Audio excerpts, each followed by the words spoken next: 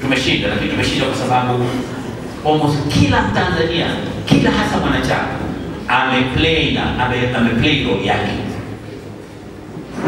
Tunafanya mkutano wa wazee, mkutano wa madhehebu ya dini, eh, boda boda, wakina mama lishe, kwa sababu tulikuwa tunawahitaji wote.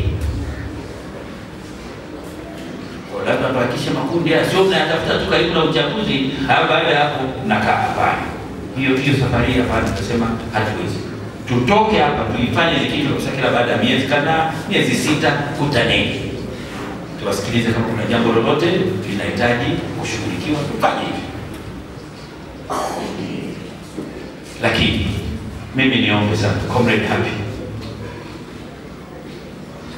sijui tutafanyaje eneo moja ambalo bado kusema kweli tunalisema mdomoni, lakini sioni kama tunasaidia sana, sekta binafsi.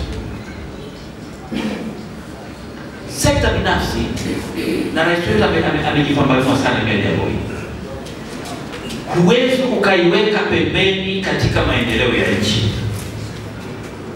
wana mchango mkubwa, na lazima kama serikali ndani ya chama tawala tuone ni namna gani sekta hiyo inapata nafasi ya kusikilizwa kila mara, ili kuona matatizo yao ni yapi na kuyaondoa ili waweze kuweza vizuri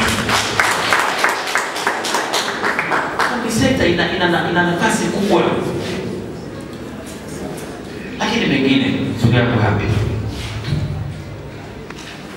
huwa nikija na rafiki yangu pale Sanville, pale na sasa pale wameniondoa pale, wakanipeleka we Royo.